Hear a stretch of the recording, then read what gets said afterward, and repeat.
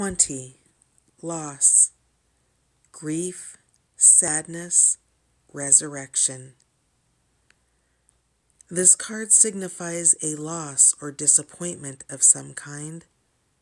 Perhaps a hope or dream you had now seems destined to fail.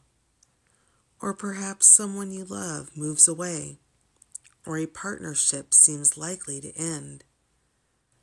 Yet this card also signifies resurrection, which means that the perceived loss will either not eventuate or what you lose will be returned to you in a new way or a new form.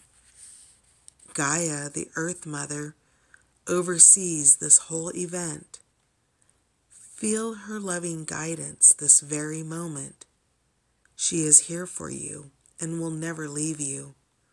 For Gaia and you are one eternally. The wheels of life keep turning. Life is never still.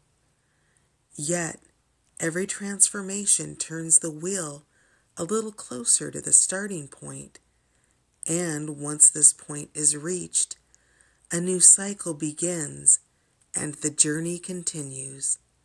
There is no end without a new beginning. Affirmation Nothing is missing. Things simply change form. My life is forever transforming to ever greater love. The earth and I are one. I am forever protected and guided by love, spirituality. There is neither beginning nor end.